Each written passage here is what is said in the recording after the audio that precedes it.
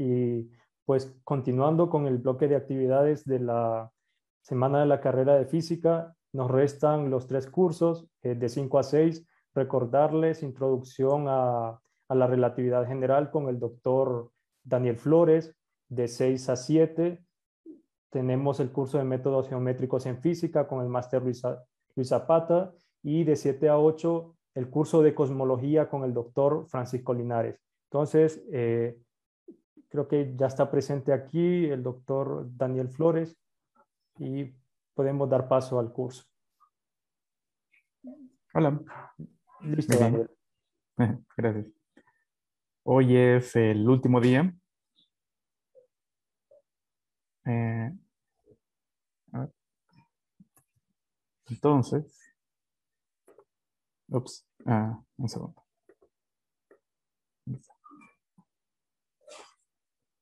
Bien.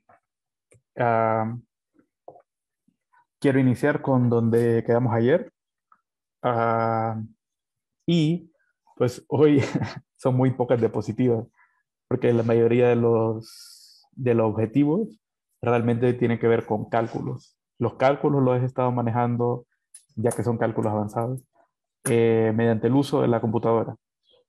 Entonces, si tienen alguna pregunta en cualquier momento, por favor, deténganme. Puede ser una pregunta del código, porque pues, no, no, tienen que estar familiarizados con él. El código es bastante, mm, quiero decir, sencillo. Pero igual, eh, dudas de cualquier índole me pueden detener en cualquier momento. Entonces, el día de hoy de, mm, del curso, que se llama Simetría del Espacio-Tiempo, ah, ya podemos decir concretamente a qué nos referimos con que un espacio-tiempo tenga una simetría. Una simetría es, cuenta lo mismo que tener un vector de Killing. Ayer, bueno, vamos a proceder. Ayer estuvimos viendo de que los campos vectoriales son muy importantes para determinar qué es, un, qué es una simetría. Y usamos la noción de la derivada de Lie para justo decir eh, qué es esto. Entonces nosotros derivamos a lo largo del campo vectorial, eh, de eso se trata la, la derivada de Lie, derivamos la métrica. La métrica es cero. Entonces significa que, o sea, la derivada de la métrica es cero. Eso significa que el cambio es cero.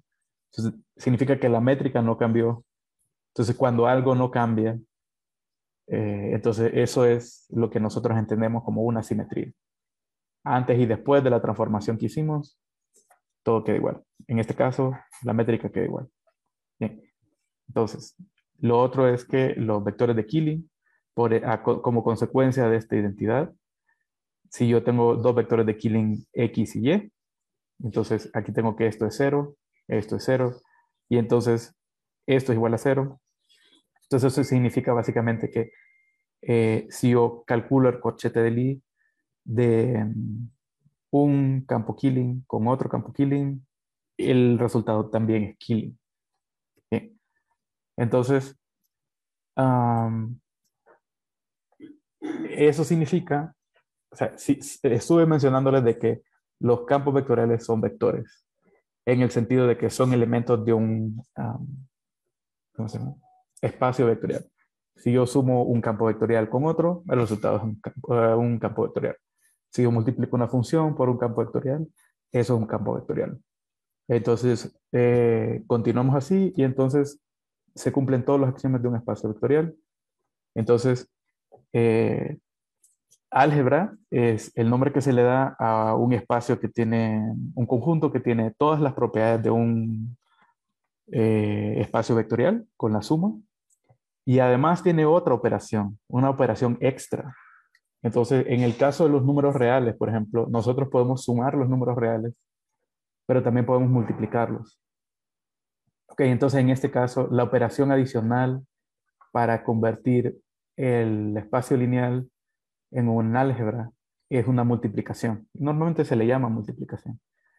Entonces, eh, aquí la operación, que es como la multiplicación, es el corchete de Lie. Ahorita les acabo de decir, el corchete de Lie de un campo vectorial con otro campo vectorial es un campo vectorial. Y eso también es cierto para vectores de Killing.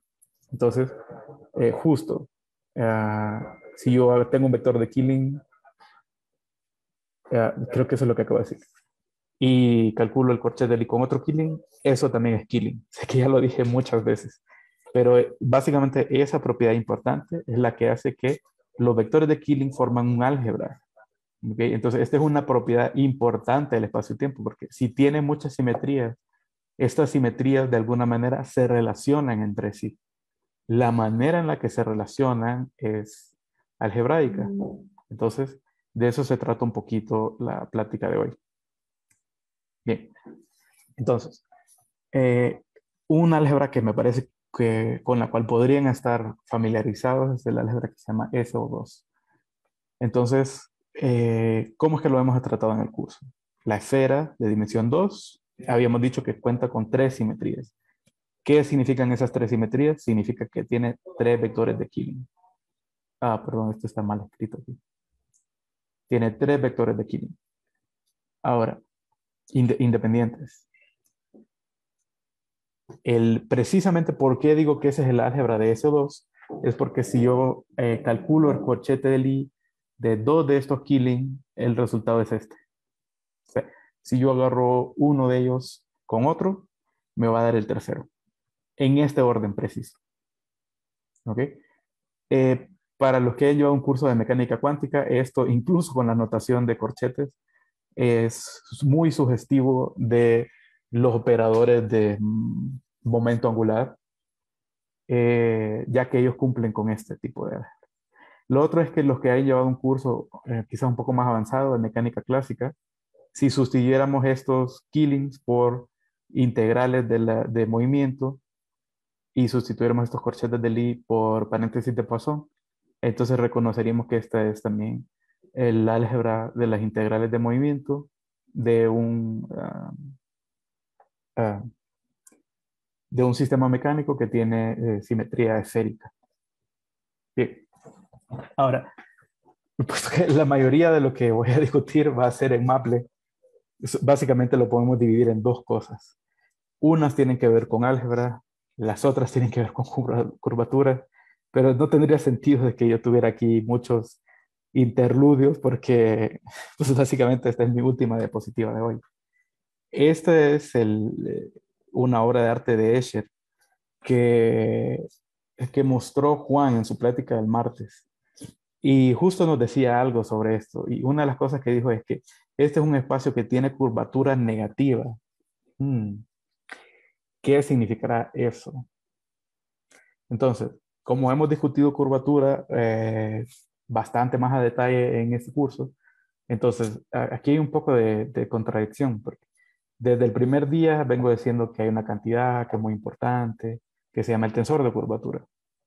Es muy complicado, tiene muchas componentes, es algo súper grande, y entonces, pero realmente esas cosas no tiene sentido decir que si son positivas o negativas. Tiene sentido que decir que si son cero, porque que un tensor sea cero significa que absolutamente todas sus componentes sean cero. Y, pero eso es cierto en cualquier eh, em, coordenada que usemos. Si es cero en unas coordenadas, es cero en cualquier otra coordenada. Pero entonces no tiene sentido decir que las componentes sean todas positivas porque en unas coordenadas eso se va a cumplir, en otras no. Entonces eso no tiene sentido. Eh, por supuesto que eso no, no, es lo que quería decir Juan. Justo, hay diferentes cantidades. Por ejemplo, está el tensor de curvatura y a partir de él, por una operación que se llama contracción, que es un tipo como generalización de la traza de una matriz, sacando esa traza, entonces nosotros obtenemos el tensor de Ricci y sacando otra vez una traza, la traza del Ricci, eso nos da una cantidad escalar, que justo llamamos o el escalar de curvatura o llamamos el escalar de Ricci. Ahora, ese escalar, bueno, justo por ser escalar, tiene sentido preguntarnos si ese escalar es positivo, negativo o cero. Pero ese no es, el único, no es la única cantidad escalar que se puede construir a partir del tensor de curvatura. ¿Ok? pero sí va en esa dirección. Cuando decimos que algo es positivo, negativo o cero, refiriéndonos a la curvatura, tiene que ver con estas cantidades escalares que se forman a partir del tensor de curvatura. Ahora, hay algo que sí discutimos a detalle, que es que cuando un espacio es plano, su curvatura es cero. Todo es cero. Y la suma de los ángulos de los triángulos que formaban ese espacio, de cualquier triángulo, de cualquier tamaño, en cualquier lado, debe sumar 180. Entonces, vimos un ejemplo donde había una esfera y la suma de los ángulos daba mayor que 180. Entonces aquí también podemos tener esta noción de o la suma de los ángulos de un triángulo da 180 o da mayor a 180 o da menor a 180. ¿Ok? Entonces, si yo en cualquier lado de cualquier espacio, de, un espacio, perdón, eh, en, en cualquier lado hago un triángulo de cualquier tamaño y de cualquier forma, siempre los triángulos suman, sus ángulos suman 180, entonces ese espacio es plano. Si todos los ángulos siempre suman más de 180, ese espacio tiene curvatura positiva. Y si todos los triángulos siempre dan una suma que es negativa, entonces ese espacio tiene curvatura negativa. Entonces aquí se puede ver un poco, eh, dijimos de que los triángulos los teníamos que formar con geodésicas. Estas curvas en blanco que están aquí no son geodésicas, no lo son, pero sí son aproximadamente geodésicas. Entonces, solo porque tenemos a disposición estas líneas blancas en esta figura muy bonita, en esta obra de arte, vamos a ver que si nosotros sumáramos los ángulos de este triángulo aquí y aquí, esa suma da menos de 180. Significa que este es un espacio que tiene curvatura negativa. Eso es exactamente lo que dijo Juan el otro día. Bien, ahora, todo lo que vamos a ver ahora va a ser en Maple. Si tienen cualquier duda ahorita o en cualquier momento, por favor deténganme. Este es el documento que vimos la vez pasada y básicamente solo dice que aquí tengo un espacio de dimensión 2 o coordenadas θ y phi. Aquí está la métrica, esta es la métrica de la esfera en 1. Eh, y este comando lo que hace es calcular todos los vectores de Killing de esta métrica. Eso es una herramienta súper poderosa, porque aquí la máquina lo que tiene que hacer es resolver, eh, y resolver una ecuación diferencial parcial muy complicada eh, y encontrar varias soluciones. Entonces, este comando que se usa en Maple, que es como corchete o un número, lo que dice es que, bueno, de esta dame el primero, ¿no? La primera entrada. Entonces vemos de que aquí hay tres vectores de Killing, los llamé con eh, subíndices 1, 2 y 3, están en, en, las ecuaciones 3 a 5. Entonces, esto, el vector de Killing 1 y 2 se ven muy complicados, muy complicados. Pero el, el tercero se ve muy sencillo y corresponde al hecho de que, fíjense, ninguna de las componentes de la métrica, 1, 0 y seno de teta al cuadrado, ninguna de esas componentes depende de phi.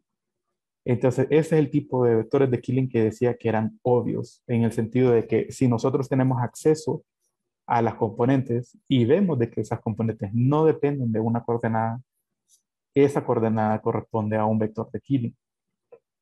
Bien, entonces el tercer vector de Killing es obvio y los otros dos no son para nada obvios. Ahora, ahora que ya los tenemos, bueno, aquí es justo, calculamos la derivada del i de la métrica alrededor de estos tres campos, solo para comprobar de que si efectivamente da cero, entonces de 6 a 8 eso es lo que está.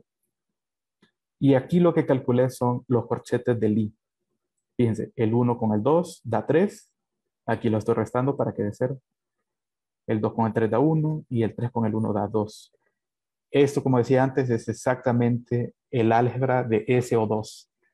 Entonces, si a mí me presentaran la métrica de una esfera en coordenadas en las que no reconozco que es la esfera, y yo de alguna manera me doy cuenta que tiene tres vectores de Killing, si yo logro escribir esos vectores de Killing y sus relaciones de, de, de, de Lie de tal forma de que cumplen esto, entonces eso significa de que tiene simetría esférica. Entonces, en este caso, si es una métrica de dimensión 2, entonces yo concluyo, ah, es la esfera, solo que no me había dado cuenta porque estas coordenadas no las reconozco. Entonces, fíjense, son estas propiedades las que me dicen, las que me hablan sobre la simetría porque puede ser de que yo tenga la suerte de estar trabajando con coordenadas donde las simetrías son fácilmente interpretadas por mí. Pero ese puede que no sea el caso. De hecho, de hecho, esa es la última pregunta que me hicieron ayer. Entonces, fíjense, eh, ¿por qué estoy dándole tanta importancia a esto que es el álgebra, que es un poco así matemáticoso? La importancia es de que esta es la cantidad que, este es, eso es lo que representa la simetría y eso es lo que la hace realmente invariante.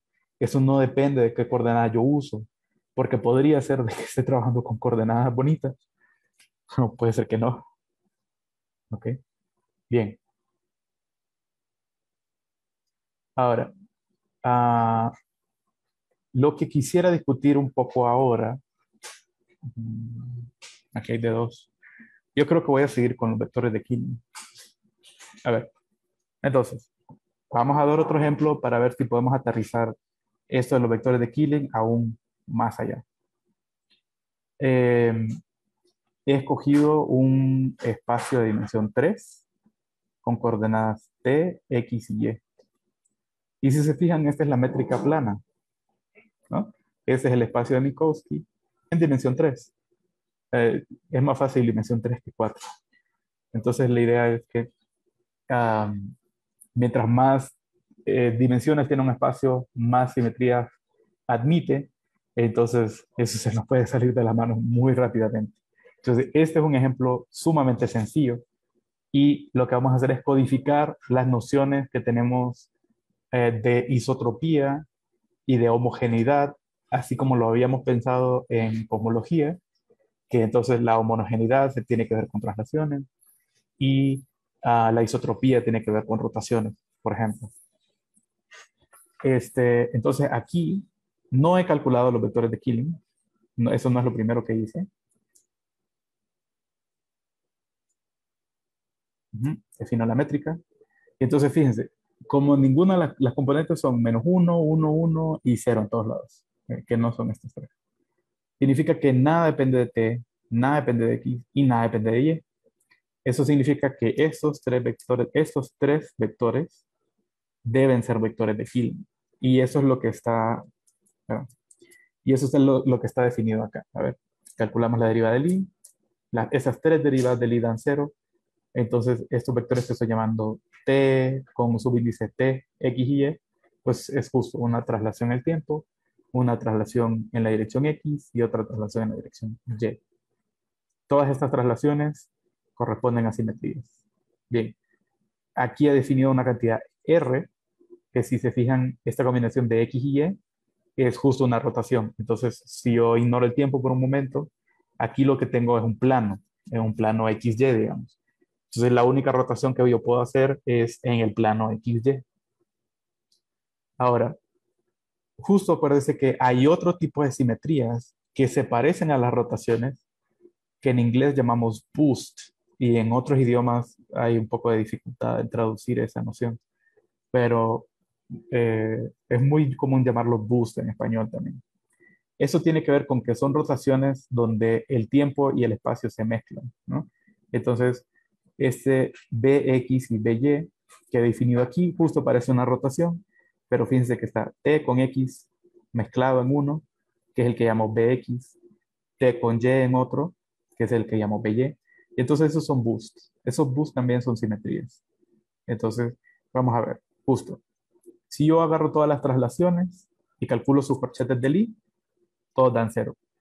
Usando las palabras de mecánica cuántica, podemos decir o de matrices, podemos decir que conmutan. Entonces, todas estas simetrías conmutan. ¿Qué significa que si yo me traslado, por ejemplo, en la dirección X y luego en la dirección Y, hubiera sido lo mismo que yo me trasladara primero en la dirección Y y luego en la dirección X. Hubiera dado exactamente lo mismo. Eso significa que, que los vectores de Killing conmuten, que las simetrías conmutan. Ahora, justo en las siguientes ecuaciones, verificamos efectivamente la rotación y estos dos boosts son simetrías de la métrica. Entonces ahora fíjense, ¿cómo se relacionan esta combinación de si yo hago un boost y después una rotación, si hago una rotación y después un boost, si hago un boost y después un boost, entonces, ¿qué significa todo esto? Pues aquí lo que está escrito en la ecuación 14 es que si yo hago un boost en la dirección X y luego un boost en la dirección Y, eso es equivalente a haber hecho una sola rotación.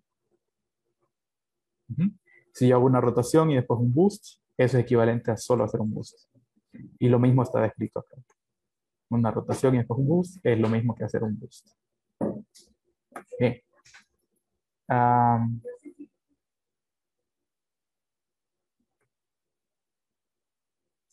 Ah, sí, por supuesto. Este, ahora lo que quiero es ver cómo se relacionan las traslaciones con las otras cosas, porque como tengo más simetrías, eh, yo sé que eso se ve como un montón de información.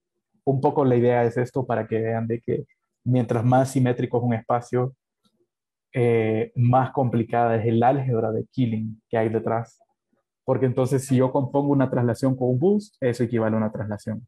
Eso, en esas dos ecuaciones, eso es lo que significa.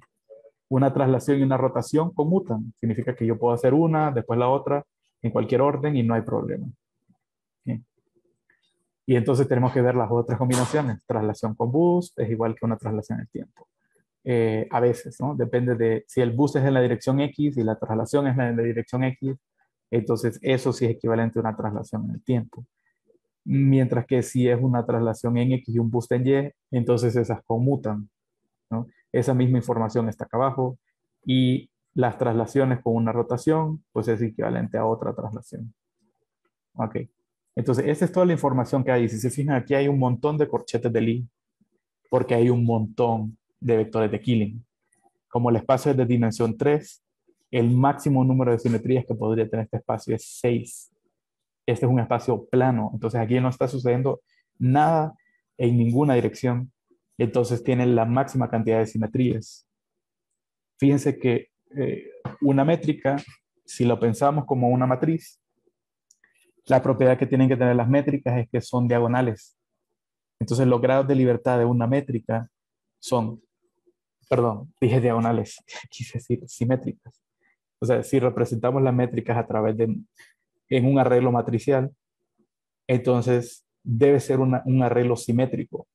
¿Ok? Entonces, los términos que están fuera de la diagonal deben ser igual, por ejemplo, el 1, 2 con el 2, 1.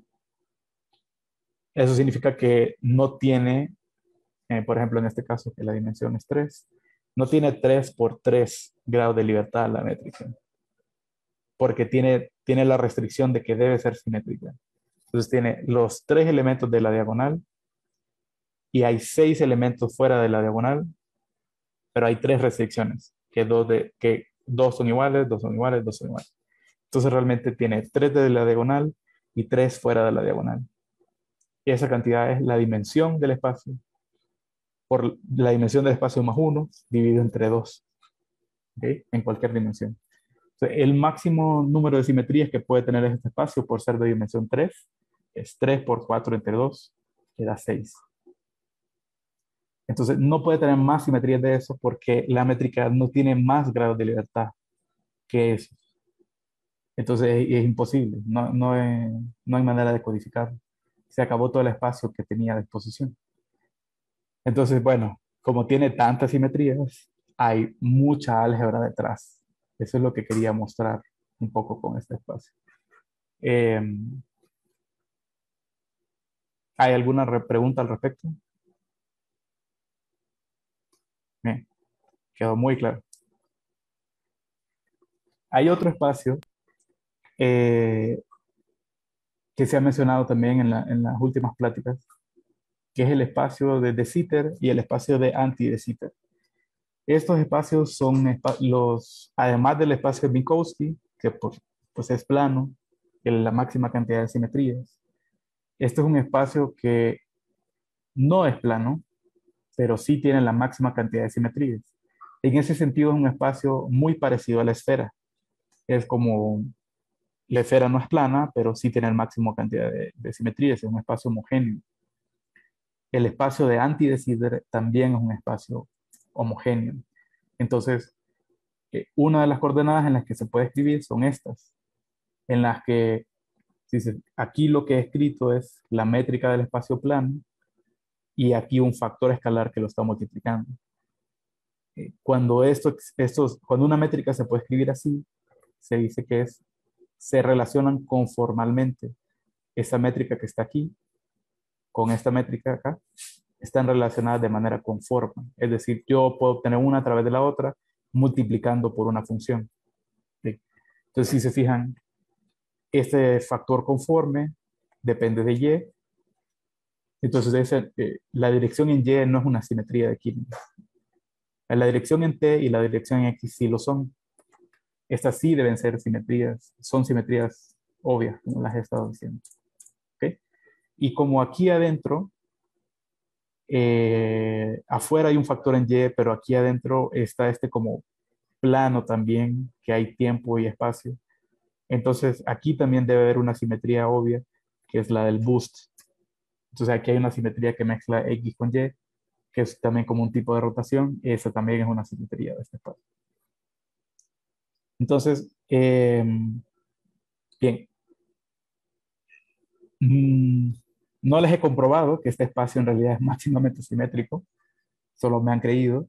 Pero si se fijan, bueno, vamos a empezar con estas tres que son simetrías obvias de la métrica. No depende de t, no depende de x, y ahí hay como un plano aquí, entonces debe tener esta simetría. Entonces, a ver, vamos a calcular los corchetes de dos de ellos, las traslaciones conmutan, traslación con bus es traslación, traslación con el bus es una traslación. Y entonces, eh, ya, eso significa que si yo tengo estos vectores de Killing y yo calculo su corchetes de Lie, no he obtenido nuevos corchetes de, no he obtenido nuevos vectores de Killing.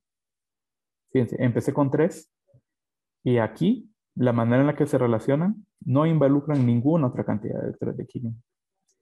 Es decir, a menos de que yo resuelva las ecuaciones diferenciales correspondientes, o yo pueda escribir esta métrica en otras coordenadas, donde las otras simetrías son obvias, Aquí solo he encontrado tres simetrías a ojo y relacionando eh, calculando los corchetes de Lie, me fijo de que ellas solas se relacionan entre sí.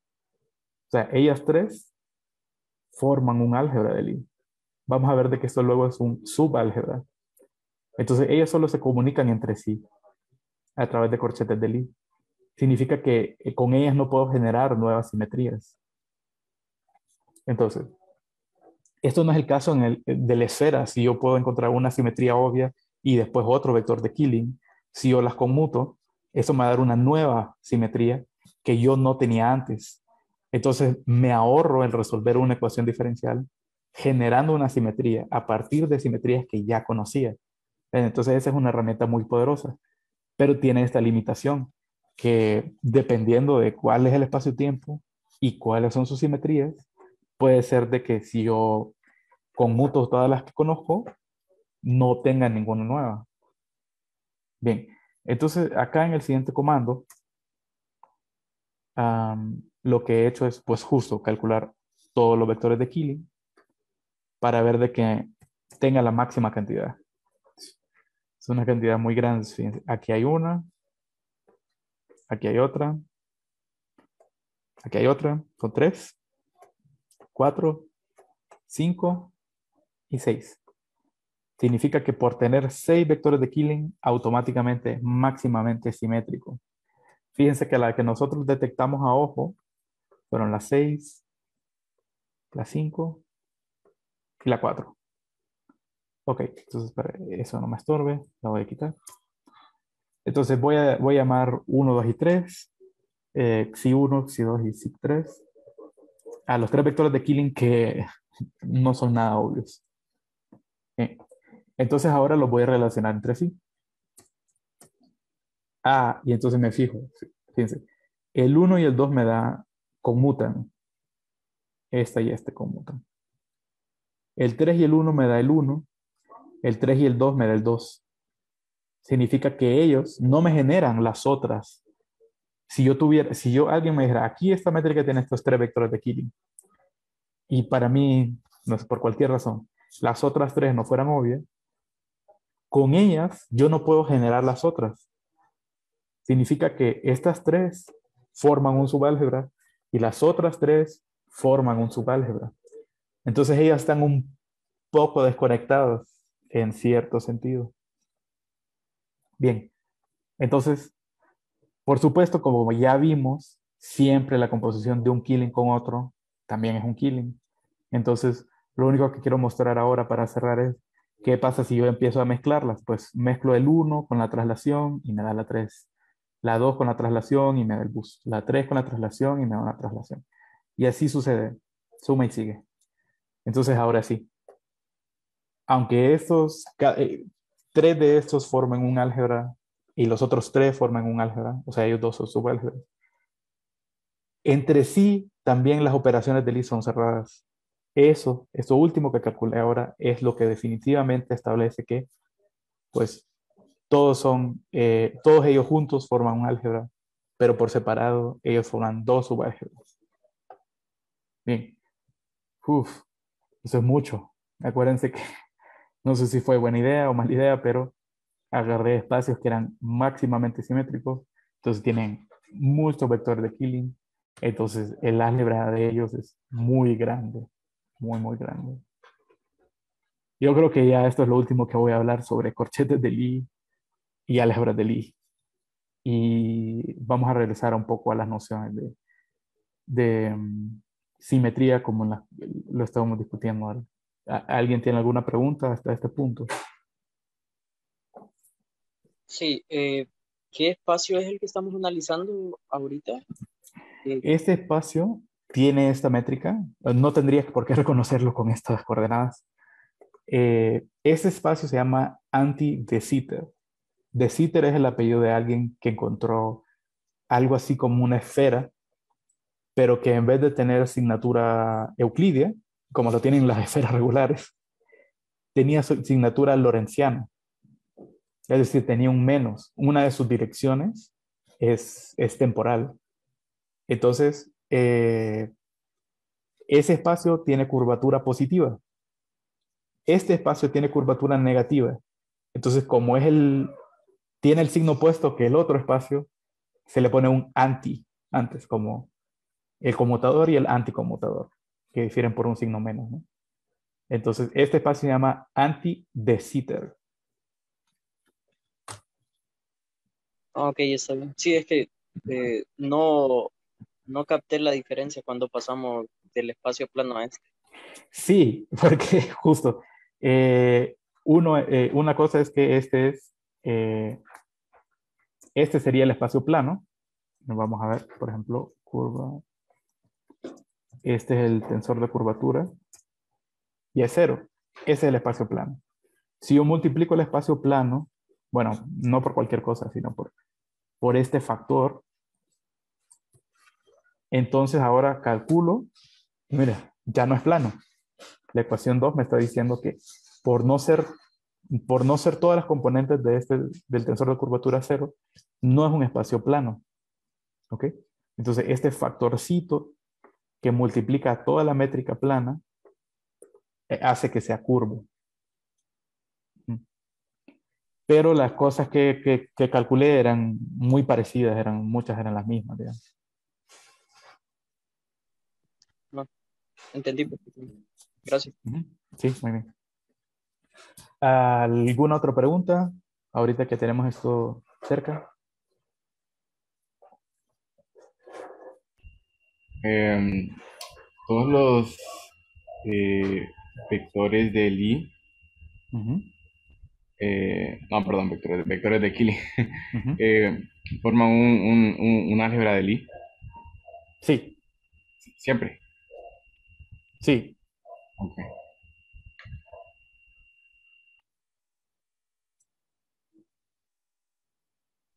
Yo tengo una pregunta. exactamente qué implica que un espacio sea curvo o que, o que sea plano. Mm. Entonces, eh, hay varias nociones de curvatura. Eh, entonces, la curvatura que hemos discutido hasta ahorita es una curvatura intrínseca. Entonces, em, es, un poco difícil de, de, de contestar esa pregunta, pero una cosa es que eh, en relatividad especial, el espacio y el tiempo eh, se ve que efectivamente se pueden modelar con una métrica plana que tiene signatura lorenciana. Entonces nosotros podemos hacer física en ese tipo de espacio, por ejemplo. Ah, la física de partículas, toda la teoría cuántica de campos en su esplendor y su gloria eh, está sobre un espacio-tiempo que es plano. Pero las cosas que tienen que ver con los campos gravitacionales, justo codificamos el campo en relatividad general lo que hacemos es que codificamos la interacción gravitacional a través de curvatura. Entonces los espacios que tienen curvatura significa que tienen un campo gravitacional. Por ejemplo, un agujero negro eh, tiene un campo gravitacional muy fuerte eh, en, en la cercanía de lo que vamos a llamar el horizonte. Hoy justamente vamos a hablar un poquito más del horizonte en, unos minutos. Entonces, la gran importancia en que si un espacio es curvo o no, o qué tan curvo es, es lo relacionamos con el campo gravitacional. No sé si eso contestó la pregunta. Sí, sí, gracias. Mm, muy bien. ¿Hay alguna otra?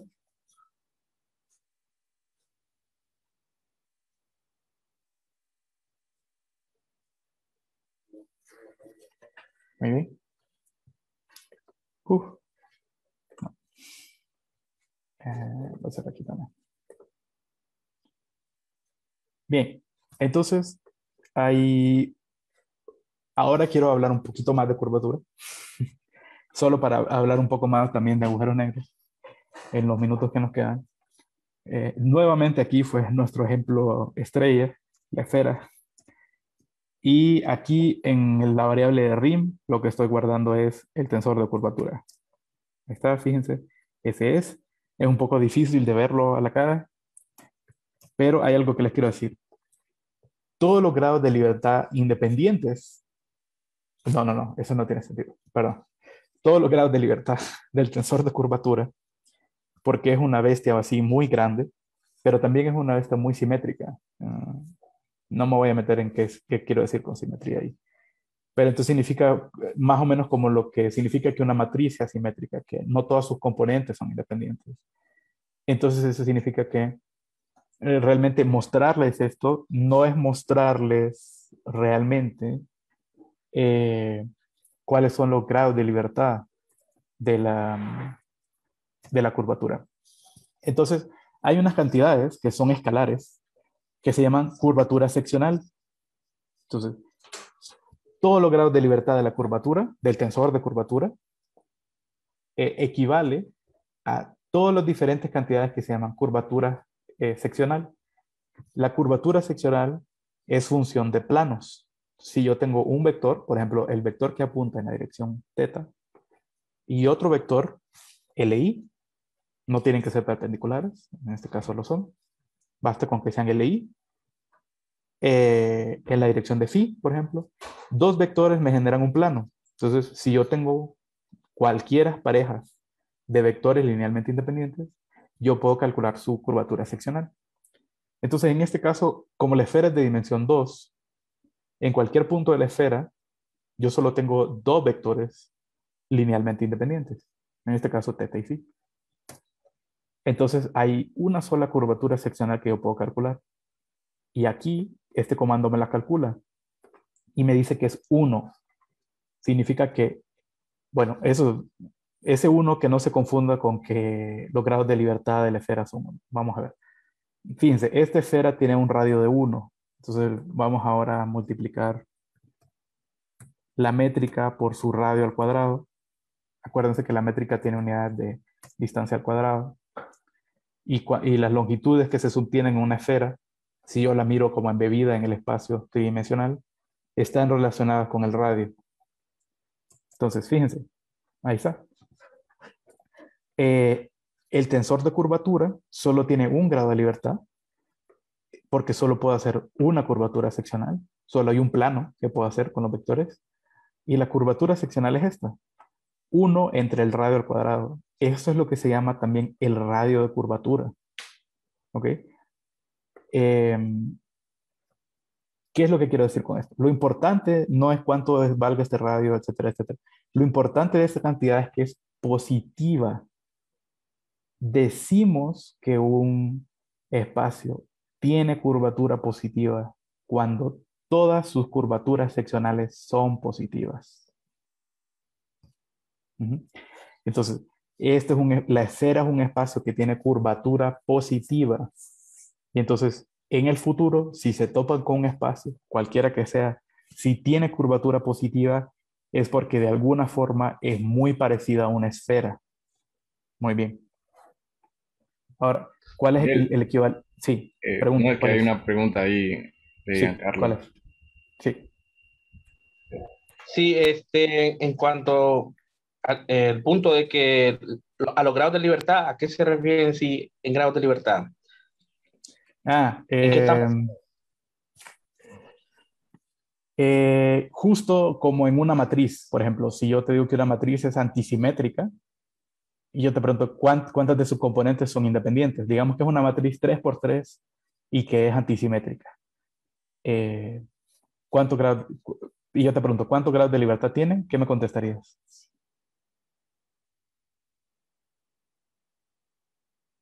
¿Matriz cuadrada o común? Sí, una matriz cuadrada, 3 por 3, pero te digo, no es cualquier matriz, sino que tiene que ser antisimétrica. Sí, que, la que sea igual a la traspuesta. No, que sea igual al negativo de su traspuesta. la traspuesta, exactamente, sí. Ya, ya, ya. Serían tres, ¿no? Porque la diagonal no cambia con la transposición, entonces el único número que es igual a sí mismo con un signo menos es cero. Entonces ahí ya dije, al ser antisimétrica, la diagonal tiene que ser a fuerzas cero. Entonces yo no puedo poner en la diagonal lo que a mí se me antoje. Tiene que ser cero.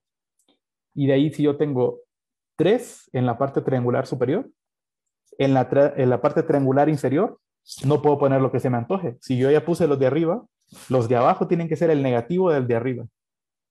¿Sí? Entonces, es eso. E, e, eso es lo que quiero decir. porque es antisimétrica. Exactamente, porque es antisimétrica. Ah. Entonces, el tensor de curvatura ah, tiene muchas de estas propiedades donde si yo eh, intercambio eh, un arreglo por otro, hago como así, como un tipo de traspuesta, tiene que ser igual si hago en otro ah, lado, o tiene que ser antisimétrica. Entonces, en unos índices antisimétrica, en otros índices antisimétrica, y si yo cambio dos de sus parejas de índices por los otros dos, tiene que ser. ¿Cómo cambiar la dirección? Exactamente. Sí, se puede interpretar como cambiar la dirección.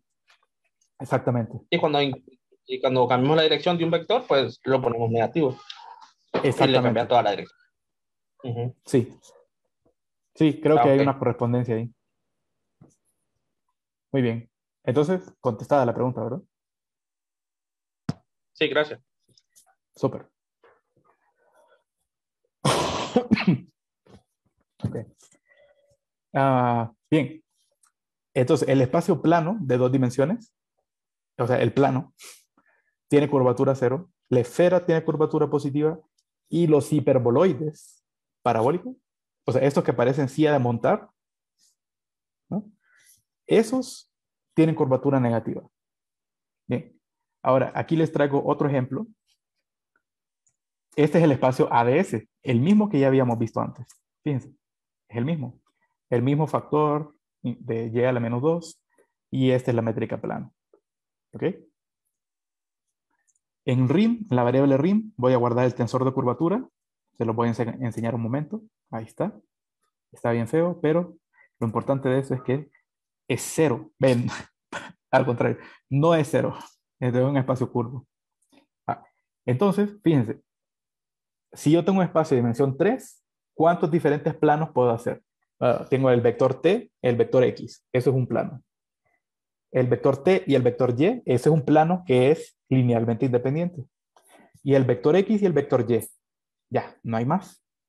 Entonces, como solo hay tres planos independientes que yo puedo hacer, solo hay tres curvaturas seccionales. Eso significa que la curvatura solo tiene tres grados de libertad. Y aquí los estamos calculando. Pa, pa, pa. Y fíjense, todos dan el mismo número y ese número es negativo. Eso significa que ADS es un espacio de curvatura negativa. Esto es con precisión a lo que se refería Juan en su plática del martes. Un espacio que tiene curvatura negativa es esto. ¿Alguna pregunta? De alguna forma, entonces, ADS es una generalización de estos espacios hiperbólicos, como el, el hiperboloide parabólico, que es como la silla de montar. Ese tiene curvatura negativa. Este espacio también tiene curvatura negativa. La única diferencia es que este tiene un tiempo, el otro no. ¿Eh?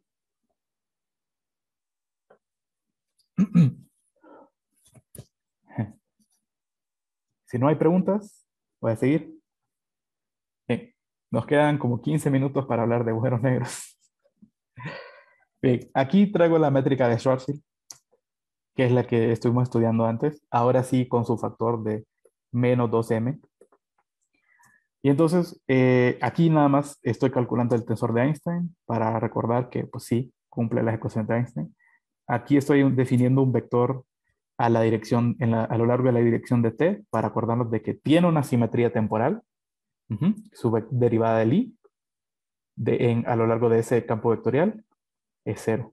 Entonces, esa es una simetría. Bien, significa que el agujero es estacionario. De hecho, es estático, pero hay otra manera de calcular eso. Esto solo nos dice que es estacionario. Eh, la simetría discreta de cambiar t por menos t nos dice que es estático. Bien. Y voy a calcular su escalar de curvatura, el escalar de Ricci. Ah, no, espérense, antes de eso, una cosa. Eh, íntimamente relacionado, eso sí, eh, si están siguiendo el curso de Luis, creo que ya lo vieron, hay un isomorfismo entre campos vectoriales y diferenciales, que a veces también llamamos vectores y covectores o esta podría ser la antigua noción de que los vectores fila y los vectores columna son equivalentes entre sí. Entonces, asociado al campo de Killing eh, eh, en la dirección temporal, existe este diferencial que está en 4. Lo importante de este diferencial es que, fíjense, cuando R es mayor que 2M,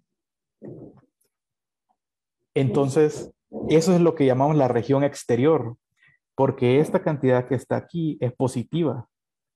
Significa que este signo menos lo que nos indica es que t es una variable que es temporal. Por eso le pusimos t. Pero cuando r es igual a 2m, esto se hace cero.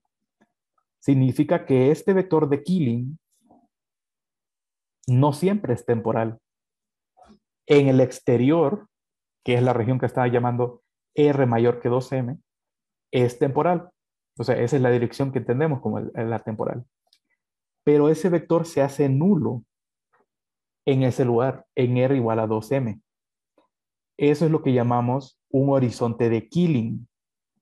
¿Por qué es un horizonte de Killing? Porque hay un vector de Killing que se hace nulo ahí. ¿Ok? Ahora, cuando R es menor que 2M, esta cantidad es negativa, significa que esto por menos 1 es positivo y esto es negativo. Significa que esto que estoy llamando, este vector de Killing, ya no es temporal en esa región, es espacial. Significa que esa no es la dirección que tiene las propiedades que tiene la dirección temporal. ¿Ok? Bien, entonces, esto es lo, eh, los horizontes de Killing se relacionan con los horizontes de evento en los eh, eh, agujeros negros. En el agujero negro, el horizonte de eventos, en este agujero negro, el horizonte de eventos coincide con un horizonte Killing. Bien, entonces fíjense, esto es una confusión muy antigua, ah, o sea, hace 80 años eh, era totalmente extraño este de que R igual a 2M, ¿qué era? Porque R igual a 2M corresponde a que, bueno, cuando R tiene un solo valor, cuando R es constante, el diferencial de R es cero, entonces esto no está. Y entonces R igual a un valor me va a dar una superficie tridimensional. Pero esto es cero, significa que tampoco tengo esto. Entonces, eh, significaría que entonces la métrica es como degenerada en ese punto. Y muchos lo llamaron una singularidad, de que aquí algo extraño pasaba. Y eso también estaba relacionado con lo que dijo Juan, que si uno tiene un cohete y necesita quemar combustible para que el campo gravitacional no se lo trague, eh, por, en la región exterior uno necesita una cantidad finita de combustible para lograrlo, pero si uno estaba en el horizonte era imposible porque la cantidad de fuerza que uno necesitaría es infinita.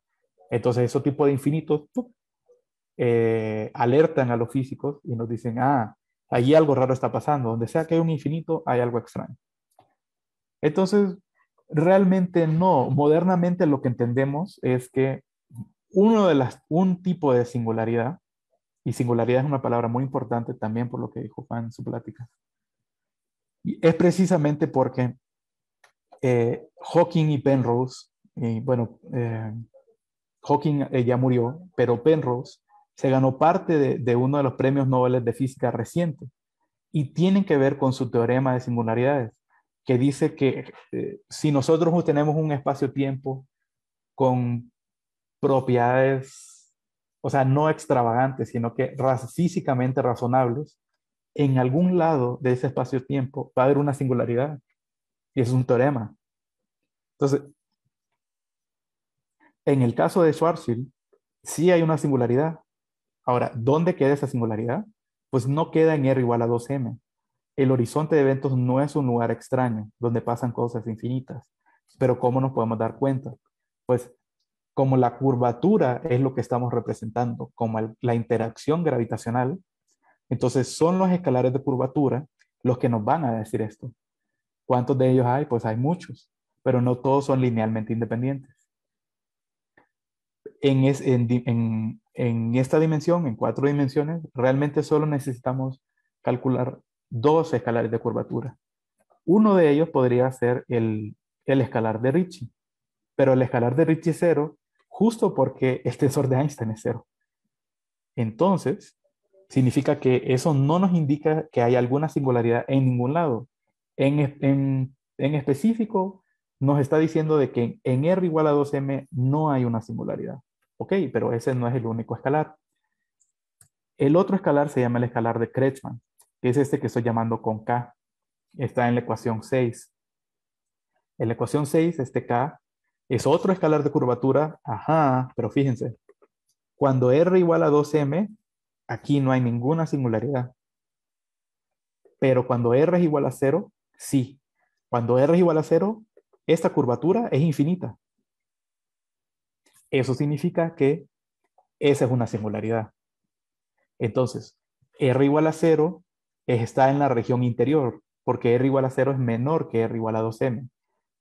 Nosotros presuntamente estamos en el exterior de un agujero negro, entonces nosotros no estamos en contacto con esta singularidad justo porque está este horizonte, el horizonte del agujero negro. Entonces nosotros solo veríamos negro, no sabemos lo que hay dentro de ese horizonte. Bien, ahora, pero las matemáticas nos dicen de que ahí hay una singularidad. ¿Qué significa eso? La respuesta todavía no es definitiva. Pero ahora, acuérdense que estuve hablando de la curvatura seccional, ¿no? Entonces, en cuatro dimensiones, ¿cuántos planos independientes puedo hacer? Pues puedo hacer seis. T con R, T con teta, T con phi, R con teta, R con phi, teta con phi. Entonces calculo todas estas cantidades, todas las, curvaturas seccionales todo mi, todo mi tensor de curvatura, que es una cantidad grande y espantosa. Se la voy a mostrar. Grande y espantosa, ahí está. Lo puedo codificar, en lugar de mostrarlo como un tensor, lo puedo mostrar como seis cantidades escalares independientes. ¿Ok? Son estas seis cantidades.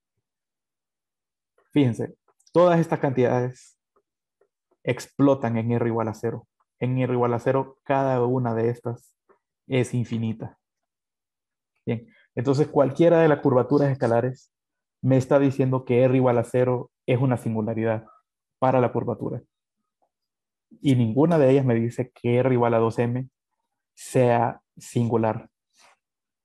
Entonces, el horizonte es un lugar que no es para nada extraño para la física gravitacional, pero, eh,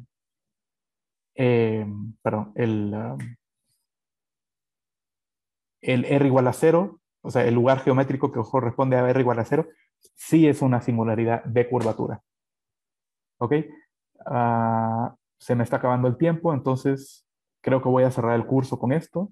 Solo quiero mostrarles rápidamente que en tres dimensiones, si se fijan, aquí he escrito algo como FDR, FDR acá, algo que se parece mucho al agujero negro de Schwarzschild. ¿Ok? Pero en esta ocasión quiero escribir las ecuaciones de Einstein con constante cosmológica. Y entonces aquí están. Defino esta ecuación, la resuelvo. Lo único que no hice fue evaluar evaluar esto aquí para ver que todo es cero. Ah, voy a hacer eso así, rápidamente. Eh, voy a copiar esto así. Fíjense, cuando yo evalúo esto, el tensor, en esta función, todo esto es cero. Significa que esta es una solución a las ecuaciones de Einstein. Fíjense, es una constante que se va a relacionar a la masa y que de hecho es el negativo de la masa, pero no hay tiempo para explicar por qué. Y una cantidad que está multiplicada por la constante cosmológica. Ahora fíjense, si esto es negativo y esto fuera cero, esta función sería negativa. Entonces, no siempre sería negativa porque es constante. Entonces, no tenemos la misma estructura que Schwarzschild. Si esta cantidad fuera positiva, esto siempre sería negativo entonces no tenemos la misma estructura de Schwarzschild.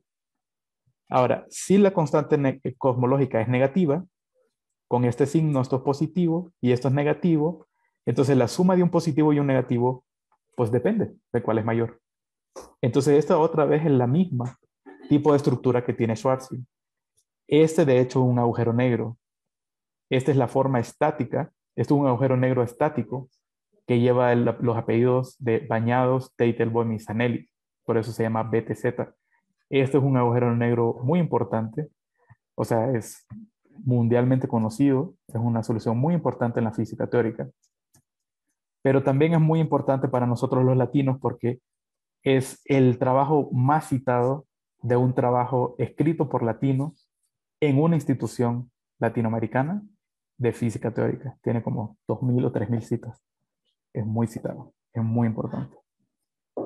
Por cierto, el, centro de investigación es en Chile y se llama el, Centro de Estudios Científicos. quiero escribir la constante cosmológica como algo que es manifiestamente negativo. Lo voy a hacer así. Voy a escribir el agujero negro así. Voy a calcular la curvatura. Fíjense que no es cero. Y entonces ahora voy a revelar su curvatura seccional. Y fíjense que toda es igual y toda es negativa. Significa que este agujero negro, si yo lo miro de cerca, es idéntico que el espacio de Anti de Sitter. Entonces, pero ¿cómo es posible si Anti de Sitter es un espacio que es máximamente simétrico, es como un tipo de esfera o silla de montar? Es un espacio donde nada raro debería suceder nada como un, eh, singularidades, nada como horizonte de eventos. Y esto tomó mucho tiempo entender, pero ahora modernamente se entiende. Entonces es que no todas las singularidades son singularidades de curvatura. Y esta información de la curvatura solo es local, mientras que la información como eh, eh, que me va a determinar si es un agujero negro o no, lo voy a decir así, esa es información global. Entonces, este agujero negro, de muy de cerca, es idéntico a un espacio homogéneo donde nada sucede, pero cuando analizamos su estructura global, uno tiene que ir más allá de la curvatura para eh, estudiar su, eh, su forma global. Entonces uno concluye de que no es idéntico a anti de Sitter, no globalmente, Y lo que nos permite hacer esa conclusión son los vectores de Keeling. Bien, con eso este, cierro mi plática, cierro el curso. Si hay preguntas, si es que me permiten contestarlas. Si no, muchas gracias por su atención.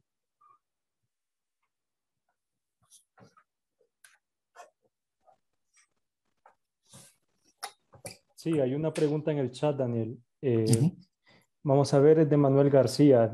Eh, si quieres abrir el micrófono, Manuel, para contestar. Y de ahí sigue David Raudales. Gracias por el tiempo, Misael. Sé que me pasé de, tiempo.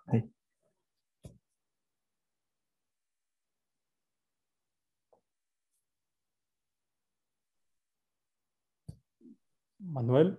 Bueno, si quieres yo voy a leer la pregunta entonces. Nos dice Manuel, ¿es posible tener una descripción de lo que le pasa al espacio-tiempo cuando dos agujeros negros están próximos a chocar y hacerse uno solo? Sí, por supuesto que sí, pero no analíticamente.